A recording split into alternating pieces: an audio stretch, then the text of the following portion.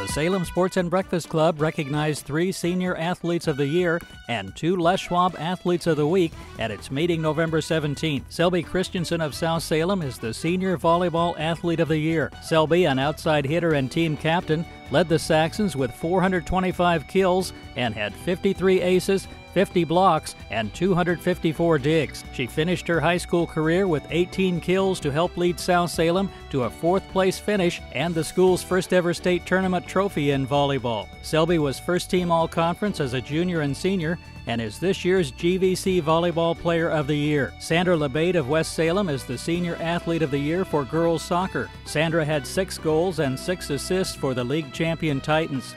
She scored two goals against South Salem in a match that would decide the league championship and scored a goal in West Salem's first round playoff win over Gresham. Sander was first team all conference. Kaylee Mitchell of Sprague is the Senior Athlete of the Year for girls cross country. Kaylee cut more than three minutes off her personal record from her sophomore to senior years.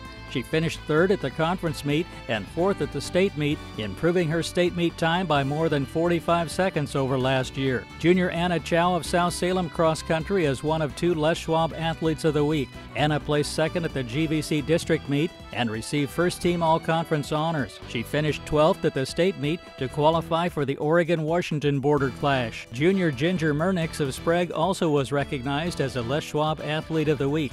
Ginger was the Greater Valley Conference champion the last two years and finished 16th at state this year. Earlier this season, she won two big invitational meets featuring runners from Oregon and Washington and finished second at the Nike Portland Cross Country meet with schools from around the country. The Salem Sports and Breakfast Club meets Friday mornings at Goudy Commons on the Willamette University campus.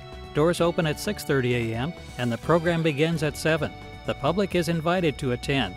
For more information, please contact Don Kurzel at don at.